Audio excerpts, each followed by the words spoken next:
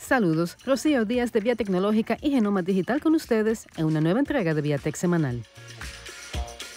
A lo largo de este año ha habido un solo tema que ha dominado en el ámbito tecnológico y ese es inteligencia artificial. Sin embargo, en las últimas semanas las cosas han tomado otra dirección y es así como aquí presentamos un resumen de tres acontecimientos actualmente en desarrollo y que son de importancia según las preferencias de cada cual. Atentos. En X, la plataforma anteriormente conocida como Twitter, hay un problema de bots y su dueño, Elon Musk, pretende combatirlo cobrando una pequeña cantidad mensual a los usuarios de la misma. Los bots, al igual que las cuentas falsas y el spam, así como otras situaciones no del todo agradables, son ocurrencias comunes en las redes sociales, y esto significa que no se trata de una situación exclusiva en la plataforma X. Es también importante aclarar que no todos los bots son malos o dañinos, ya que hay algunos que son un feed automatizado de noticias o de otras informaciones que son de interés y que provienen de fuentes ya validadas. Pese a esta realidad, Elon Musk declaró la guerra a los bots hace mucho tiempo, incluso desde antes de tomar posesión de Twitter a finales de octubre del año pasado. En efecto, el tema de los bots, conjuntamente con el de las cuentas falsas, fue el que puso en jaque la adquisición de Twitter por parte de Musk en su momento, ya que éste estaba pidiendo información y su queja era que la información provista no se correspondía con la realidad. Desde ese entonces, tiene una fijación con el combate a los bots y demás situaciones similares. Musk compartió su visión de cómo combatir los bots en X durante una reunión que sostuvo con el primer ministro israelí Benjamin Netanyahu para tratar una pequeña crisis de antisemitismo que se estuvo dando en la plataforma luego de que Musk, utilizando justamente los servicios de X, acusara a la Liga Antidifamación, organización sin fines de lucro que combate el odio hacia los judíos y otras formas de odio, de ser la razón por la cual los anuncios son tan escasos en esa plataforma, sobre todo en el mercado estadounidense, donde reporta una baja de 60% en los ingresos que se reciben por ese concepto.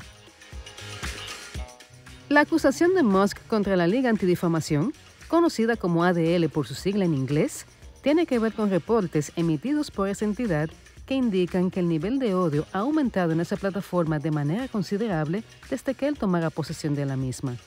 En efecto, en algún momento ADL pidió parar la publicidad aquí con tal de combatir ese fenómeno.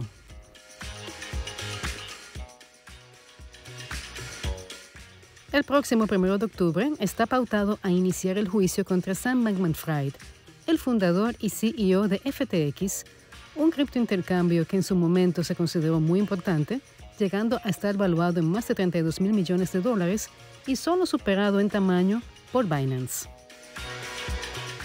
La historia de este juicio inicia en noviembre del año pasado, cuando FTX, conjuntamente con Alameda Research, que formaba parte del conglomerado, se declaró en bancarrota. 2022 fue un año particularmente difícil para las criptomonedas, extendiéndose la mala racha hasta este 2023. Y sin duda alguna, uno de los acontecimientos que definió esta etapa fue justamente la caída de FTX, que tuvo repercusiones dentro y fuera de ese mundo. Tras resistirse por casi un mes, Bankman Fried fue arrestado en Bahamas y deportado a Estados Unidos, donde inmediatamente fue encarcelado. Posteriormente pagó una fianza de 250 millones de dólares que le permitió estar bajo arresto domiciliario, pero esta fue revocada en agosto de este año por un juez por entender que estaba intimidando o influenciando a testigos. Serias acusaciones pesan contra Bankman Fried, entre ellas diversos fraudes, así como conspiración a realizar esos fraudes. En su momento, la caída de FTX dejó a muchos enganchados y todavía esas personas están buscando cómo recuperar su dinero. También puso en jaque a una serie de recursos que son típicos del criptoentorno, entre ellos los NFTs o Non-Fungible Tokens. Incluso puso en peligro a Binance.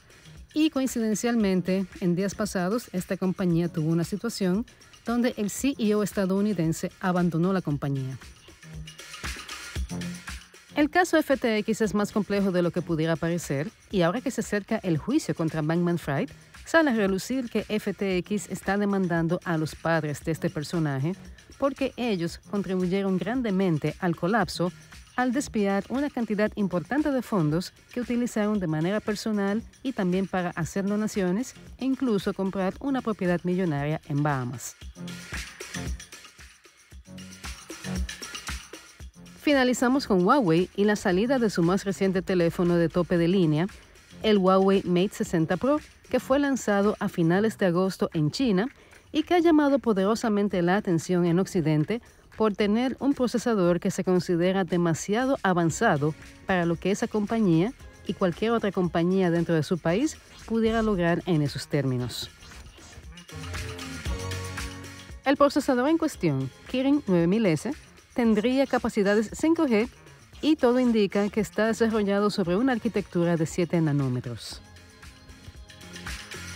Esta combinación de características ha provocado mucha intriga a lo interno del gobierno estadounidense y todo tiene que ver con que Huawei desde 2019 está en lista negra y eso significa que no tiene acceso a tecnología estadounidense en ninguna parte de sus procesos. Se supondría que tecnología estadounidense habría intervenido en un desarrollo de este tipo y esta es la razón por la cual, desde que se dio a conocer este nuevo teléfono, el gobierno estadounidense está pidiendo recrudecer las medidas en contra de Huawei. Con esto hemos llegado a la parte final. Más detalles en viatech.do y en las redes sociales de Vía Tecnológica, Genoma Digital y la comunidad ojalá.do. Recuerda suscribirte a nuestro canal para seguir recibiendo contenidos como este. Hasta la próxima.